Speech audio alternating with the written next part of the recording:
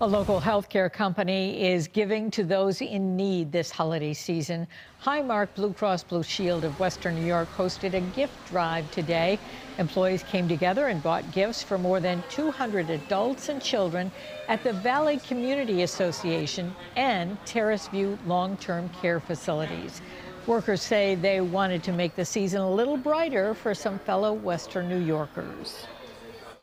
You know, we always say it's kind of cliche.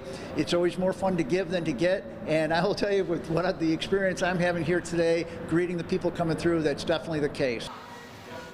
Highmark was able to get names and wish lists, so all of these gifts were personalized.